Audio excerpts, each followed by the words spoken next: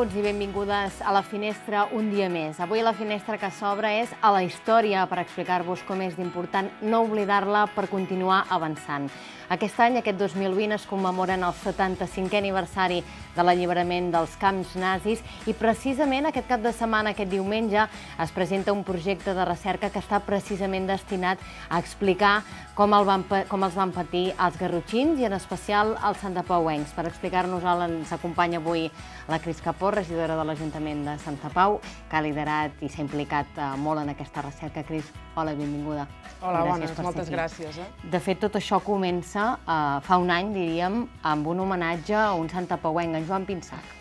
Sí, de fet, eh, tot va començar amb l'homenatge a tots els deportats franquistes, que vam intentar recuperar pues, la seva memòria, i sobretot amb la figura d'en Joan Pinsac, que va ser l'alcalde de Santa Pau de la CNT, afusellat pel franquisme fa 80 anys. Mm. D'aquest homenatge a una víctima del franquisme i, a més a més, molt coneguda per la seva implicació en aquella època a la comarca, com passeu a tota aquesta investigació que al final s'ha convertit en un abast comarcal, no?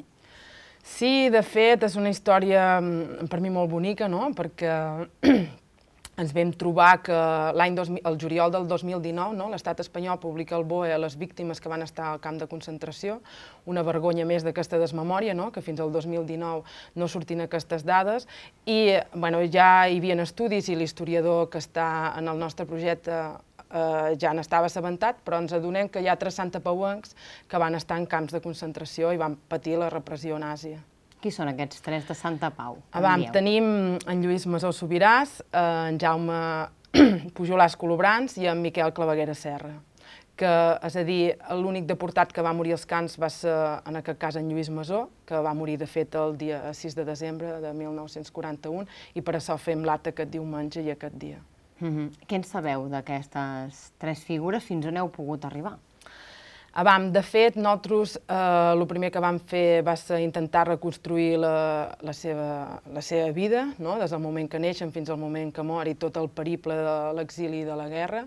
Ens trobem que però això és una cosa que està viva, vull dir, perquè fins fa una setmana, per exemple, ens pensàvem que en Lluís Masó només eren dos, dos germans, en Lluís i en Francesc, que de fet en Francesc va morir eh, fent condemna franquista amb un batalló de treballadors, i en Lluís Masó, eh, bueno, vam fer tot, hem, eh, de fet encara hi estem treballant, no? perquè fa just una setmana me pensava que només eren dos germans i vam descobrir que, que va tenir tres germanes més i que hi ha nebots i nebodes que són vives i fins fa una setmana no sabien que, quin destí havien sofert exactament i com i on havien mort els seus tiets. Mm -hmm. De fet, aquests tres no havien coincidit en el mateix uh, camp de concentració, no? De fet, uh, sí, en, és a dir, en Lluís Masó i en Jaume Pujolàs sí que van estar a Mauthausen, el que passa que a Mauthausen hi ha un camp annex que es diu Gusen, i eh, al cap d'uns mesos en Lluís Masó d'entrar a Mauthausen va passar en aquest camp i on, on definitivament va morir-hi. Mm. I en canvi en Miquel Claveguera, en Miquel Claveguera, a més a més, eh, que nosaltres no en sabíem res i és, és a dir, és, és molt vergonyós, no?, perquè resulta que havia estat homenatjant a França com a heroi de la resistència francesa, perquè havia estat lluitant en les forces franceses d'interior, aquí no en sabíem res, no sabíem ni en quina masia havia nascut, i ha estat reconstruir-ho tot. De fet, també, en el seu moment, ens vam trobar també que hi ha nebots i nebodes vives aquí, ell després va acabar la seva vida en un poblet aquí de la Catalunya Nord que es diu Montoriol, on hi va morir el 1984, i estem en contacte també amb la Claudi, que és la seva neboda allà, i i estàvem pendents també que vingués, perquè el mes de maig anàvem, aquest homenatge el anàvem a fer el mes de maig, però la Covid ens ho va, no ens ho va permetre. Pel que expliques, el fet d'haver esperat eh, tant de temps a buscar, fer recerca sobre aquest tema, encara ho dificulta més tot plegat, no? Sí, i a més a més encara fa més ràbia perquè moltes vegades te trobes gent que te diu ah, mira, aquesta persona que tu haguessis pogut explicar fa un any que és mort o, o fins i tot m'he trobat mesos, no? Mm -hmm. Però la veritat que, és a dir, encara trobes gent que mm, se li han explicat les històries i fins i tot encara hi ha gent gran que hem trobat, de fet, tenint deportats que tenen germans o germanes vives. Al, algun cas puntual aquí a la Garrotxa ens hi hem trobat. Qui col·labora, Cris, amb tota aquesta feina de recerca? Ah, va, és que aquesta feina de recerca s'ha anat com, és a dir, ha anat agafant volant volada, no? perquè clar, vam començar amb, amb, amb l'Albert Planes, no? que era l'historiador, vam fer-lo d'en Pinsac, després se'ns va afegir el periodista i activista David Fernández, i finalment la Covid, mira, si una cosa bona ha portat a les nostres vides és l'aparició de la Mercè Casa de Mont, que va ser la clau no? perquè ens animéssim també i a, eh, arran de fer la recerca dels de Santa Pau ens animéssim a fer la recerca de tots els garrotxins de la Garrotxa. Però estat gràcies també a l'aparició d'Anna Mercè Casa de Mont. Uh -huh. uh, I heu pogut anar constatant que aquesta desmemòria s'extén uh, no només a Santa Pau sinó a pràcticament tots els pobles?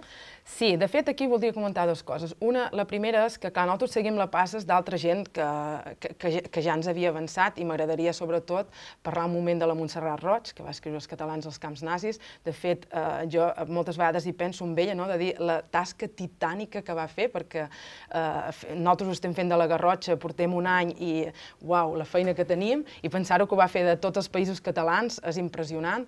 De fet, la Montserrat Roig va trobar 12... Eh, 12 persones garrotxines que havien estat deportades. Nosaltres ara mateix tenim la llista 31 per tant, eh, quasi tots els pobles de, de la Garrotxa tenen algun deportat. De fet, jo el dia que em vaig donar compte de que, havíem, de que ens havien de posar ja a treballar va ser el dia que vaig trucar amb un ajuntament de la Garrotxa, que tenen dos deportats, i a parlar amb l'alcalde i amb el que era la figura de l'historiador del poble, em van dir no, no, nosaltres no tenim deportats en aquest poble.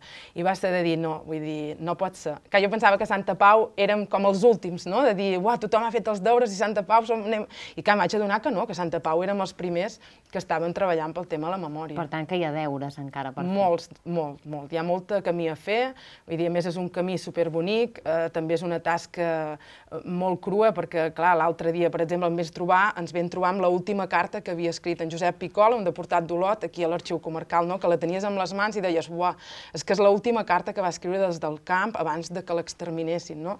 Vull dir que trobes coses molt... O, o poder explicar a algú que li va passar al seu parent, no? Que, no, que tota la vida s'ha preguntat on te va morir, què va passar, no? En aquest sentit, ara potser gent que ens està veient us pot ajudar amb tota aquesta recerca, familiars fins i tot oh, i llunyans. Tant, I tant. De fet, he demanat ajuda a les xarxes, hi ha una pàgina de Facebook que es diu Fotos, eh, Fotos d'Olot d'abans i la Garrotxa, i he demanat ajuda amb la recerca d'un olotí, d'en Josep Picola, amb la masia de Cal Peroler, i m'he trobat que gràcies a l'ajuda de la gent eh, he d'anar a veure una senyora gran que pot ser una possible descendent d'en Josep Picola. Mm, Cris, parlem de l'acte d'aquest 6 de desembre. Uh, D'entrada, aquest homenatge als tres de Santa Pau, com serà? A nosaltres ens hagués agradat pues, poder-ho fer el mes de maig, perquè havíem mm, planejat un acte, és a dir, tot un cap de setmana d'actes, amb, amb gent, eh, és a dir, de la cultura catalana bastant potent, que, que ens va passar que va quedar tot frenat i ens hem hagut de limitar de fer ara un, una xerrada, primera perquè també volem presentar aquest projecte Garrotxí i començar pel Santa Pauencs. És a dir, participen els principals experts per mi en el país, ens faltaria molta més gent, però clar, has d'acotar, mm. no? i tenim l'historiador Albert Planes que ens presentarà les tres biografies dels tres Santa Pauencs. Després tenim a la Conxa Díaz, que és la vicepresidenta de l'Amical de Mackhausen. Tenim les netes d'en Jaume Pujolàs, la Mariona i l'Anna, que vindran a parlar del seu avi i perquè en Jaume Pujolàs, no ho he dit abans, va ser, és a dir, mm, va marxar de Santa Pau molt petit, perquè tenien una fusteria i es va cremar mm. i es va instal·lar a Sant Celoni, on va ser regidor de la CNT, i després es va haver d'exiliar, que, que després també participaran la neboda d'en Lluís Masó, que l'hem trobada fa molt, molt, molt poquet, de la Núria, i també els nebots són molt grans, per tant, ella, la seva àvia era una germana d'en Lluís Massó, participarà a la Núria. Pues tenim en Carlos Hernández, que va escriure Los últimos españoles en Mauthausen, Los campos de concentració de Franco, és periodista. Ara, amb el motiu del 75è aniversari, es va fer un documental sobre Mauthausen, que el va produir ell. I després, eh, que en Juan Pedro Rodríguez és l'expert en Dachau eh, a, nivell, a nivell nacional i nosaltres, el mm. nostre deportat, en Miquel Claveguera, va estar en aquest camp i després també tancarà l'acte en David Fernández i, bueno, i jo que intentaré presentar el projecte mm. i moderar... Això serà el diumenge dia 6 sí. a la tarda i a més a més que es podrà seguir per streaming perquè per les dificultats de totes les restriccions del Covid, doncs no podrà haver-hi segurament el públic que us hagués agradat.